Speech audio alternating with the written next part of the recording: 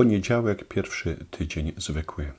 W pierwszym czytaniu z pierwszej księgi Samuela dowiadujemy się, że jest pewne małżeństwo, a nawet rodzina Elkana, który ma dwie żony. To jeszcze były takie czasy, że można było mieć dwie żony.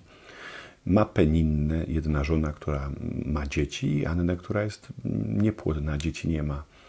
Nie dość, że tamta ma dzieci, to jeszcze śmieje się z tej, dokucza tej, która nie ma dzieci. Natomiast Elkana jest niesamowicie wyrozumiałym mężem. Daje podwójną porcję, obdarowuje podwójny sposób Annę, dlatego że ją kocha i w pewnym sensie dlatego, że ona nie ma dzieci. A kiedy ona płacze, mówi do niej: Anno, dlaczego płaczesz? Czyż ja nie znaczę dla ciebie więcej niż dziesięciu synów? Dla mnie ten tekst, który ma prawie 3000 lat, jest jednym z najpiękniejszych tekstów romantycznych. Czyż ja dla ciebie nie znaczę więcej niż dziesięciu synów? To prawda, że kobieta chce dzieci, to prawda, że chce być matką, zwłaszcza w tamtym czasie, ale to jest takie przepiękne pokazanie, jak ważna jest miłość małżeńska, jak ważne jest to, żeby nie zapomnieć, że mąż jest ważniejszy niż, niż wszystkie dzieci razem wzięte, żeby nie w tym swoim nieraz bólu, czy w tych swoich trudnościach, nie zapominać o tym, co, co jest szalenie ważne, o tej, o tej relacji, relacji małżeńskiej. Ale to całe też opowiadanie przede wszystkim pokazuje, że czasem w życiu zdarzają się nieszczęścia, zdarzają się trudności, natomiast możemy na nie reagować tak, że jeszcze kogoś dobijemy, jak ta, jak ta, jak ta pierwsza żona, czy żona, która miała dzieci, Peninna, ale możemy po prostu pomóc drugiemu człowiekowi. To od nas zależy, czy, czy do kogoś jeszcze przy, przyjmiemy gwoźdź do trumny, czy w jakiś sposób e, będziemy osładzać, czy to słowem, czy, czy gestami, y, trudną sytuację drugiego człowieka. Elkana pod tym względem jest niesamowity. On, on potrafi kochać w sposób właściwy, to znaczy wie, że im bardziej ktoś cierpi, tym bardziej trzeba mu okazać miłość.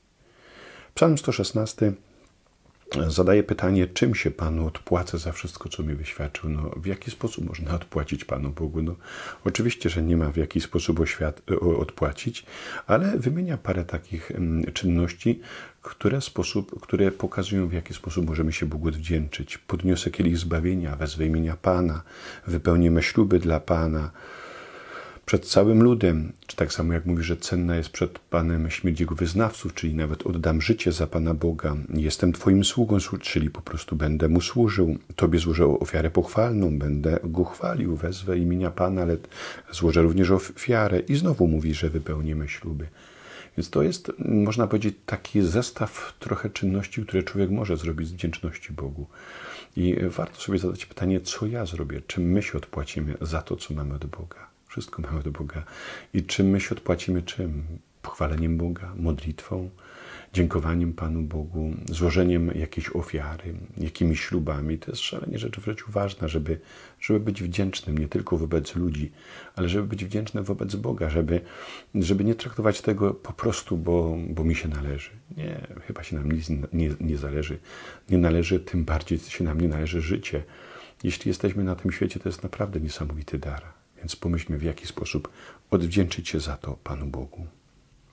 Ewangelia Marka, pierwszy rozdział to fragment, który po chrzcie Jezusa mm, chce rozpocząć czytanie całych, całej Ewangelii, potem będzie Ewangelia i Łukasza i Mateusza w całym cyklu rocznym.